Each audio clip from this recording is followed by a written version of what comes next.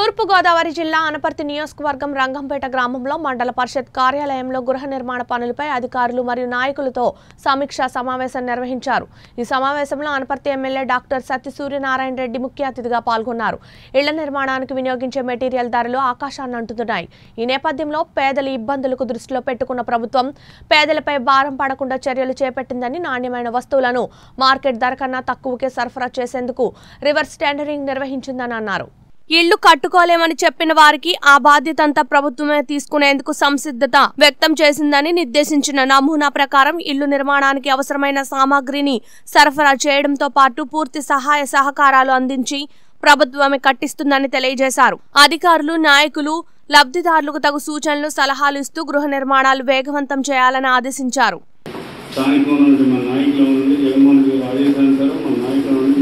ఎవరైనా సరే అర్హులు ఎవరైతే ఉన్నారో వాళ్ళందరూ కూడా పొందుతుంది మరి అదేవిధంగా ఈ ప్రజలందరూ కూడా జగన్మోహన్ గారు చేసిన ఉపకారానికి ఆయన చేస్తున్న ఈ కార్యక్రమాల పట్ల ఆకర్షితులయ్యే గతంలో చరిత్రలో ఎప్పుడూ లేని విధంగా అటు శ్రీకాకుళం నుంచి ఈ చిత్తూరు వరకు కూడా కేవలం ఒకే ఒక్క మున్సిపాలిటీ తప్ప అన్ని మున్సిపాలిటీలు కార్పొరేషన్ కూడా వైఎస్ఆర్ కాంగ్రెస్ పార్టీ గెలిచిందంటే కాదు. జగన్మోహన్ గారి పార్టీలు కులాలు మతాలు చూడకుండా చేస్తున్నటువంటి ఈ సేవా కార్యక్రమాల పట్ల మాత్రం ఈ సందర్భంగా తెలియజేస్తూ మరి అటువంటి మంచి కార్యక్రమాన్ని చేస్తున్నటువంటి జగన్మోహన్ రెడ్డి గారు ఏ ఆశయంతో అయితే పేదవారికి మరి ఇల్లు నిర్మించాలని అనుకున్నారు కేవలం ఈ కరోనా ఎఫెక్ట్ వల్ల మన రాష్ట్ర ఆదాయం కూడా గణనీయంగా పడిపోయింది.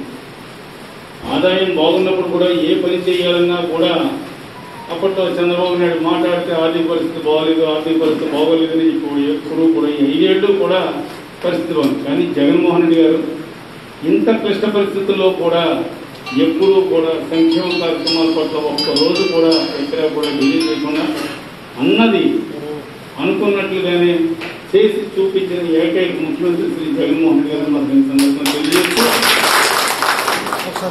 అదేవిధంగా ఇళ్ళ స్థలాలకు కూడా ఇల్లు నిర్మించుకుంటానికి కూడా అవసరమైతే ఇల్లు కూడా మనమే నిర్మించేద్దామని ఆయన భావించడం కూడా జరిగింది.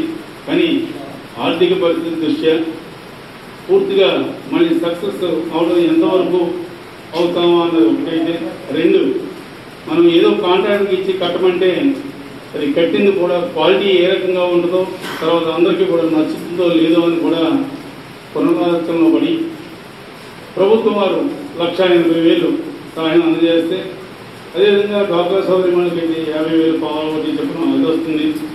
ఈ రకంగా చేస్తే వాళ్ళకి నచ్చిన రీతిలో వాళ్ళకి కన్వీనియంట్గా ఇచ్చిన స్థలంలో వాళ్ళే నిర్మించుకుంటారన్న సదుద్దేశంతో ఈ రకంగా చేయడం జరిగింది. ఇక్కడ మన నాయకులందరికీ కూడా నేను చేసిన చెప్తుంటే గతంలో మరి చూసాం సుమారు ముప్పై నలభై సంవత్సరాల తర్వాత కానీ మళ్ళీ ఇళ్ళ స్థలాలు చాలా గ్రామాల్లో మళ్ళీ ఇవ్వడం జరగలేదు. మన నియోజకవర్గంలో ముప్పై నలభై ఏళ్ళ క్రితం ఇచ్చియే చాలా గ్రామాలు ఉన్నాయి. అరాకురా తప్పితే మిగతా గ్రామాల్లో ఎక్కువ అటువంటిది జగన్మోహన్ రెడ్డి గారు మరి చేస్తున్న ఈ కృషికి మన నాయకులు కూడా మరి ఎక్కడికక్కడే ఎక్కడైతే భూమి అమ్ముకంగా ఉందో ఇళ్ళ స్థలాలకు ఎక్కడైతే అనుభవం ఉంటుందో మన నాయకులే సహకరించడం జరిగింది. మన నాయకులే డిపార్ట్మెంట్ వారికి కూడా చెప్పడం జరిగింది. ఈ రోజున ఎవరైతే మన నాయకులు చెప్పారో ఆ స్థలం వద్దని కానీ వేరే స్థలం కావాలని కానీ ఒక ఊళ్ళో కూడా నేను ఎక్కడా కూడా వెంట